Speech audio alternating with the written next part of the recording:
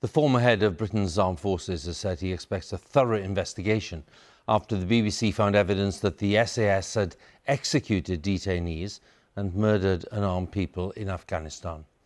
Lord Richards, the Chief of Defence Staff at the time, said the allegations were worrying and he had no doubt his successor would want to investigate them.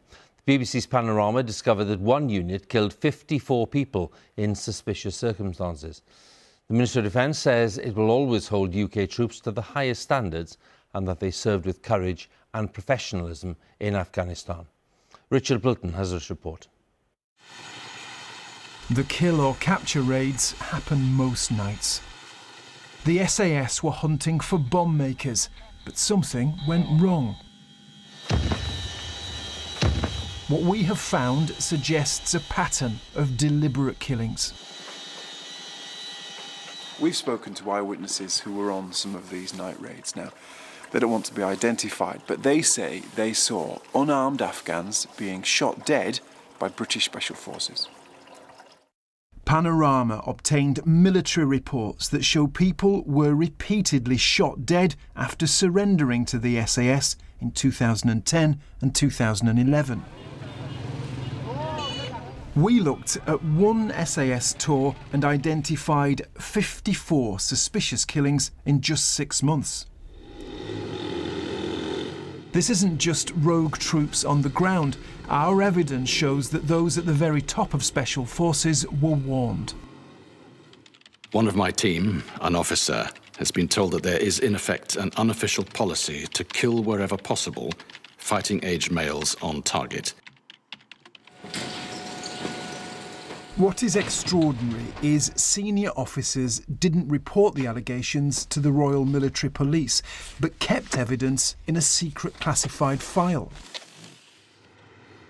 There was another opportunity for Special Forces to come clean.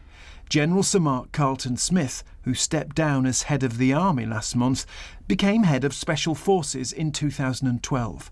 Our evidence suggests he too failed to disclose the information about war crimes. He didn't respond to our questions, and the Ministry of Defence said it can't comment for legal reasons. Today, the MOD said we believe that BBC Panorama's episode about SAS operations in Afghanistan jumps to unjustified conclusions from allegations that have already been fully investigated.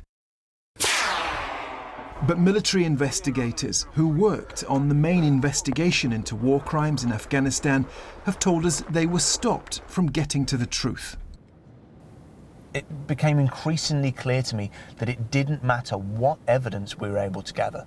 These cases were never going to be allowed to go to court. We showed our evidence to General Sir David Richards, who was head of the entire armed forces during the time we investigated.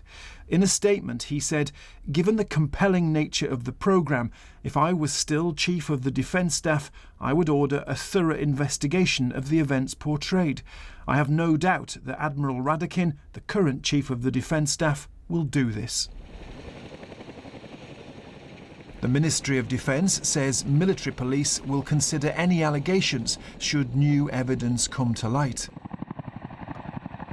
But some believe it is time to look again at the behaviour of SAS death squads that arrived in the night.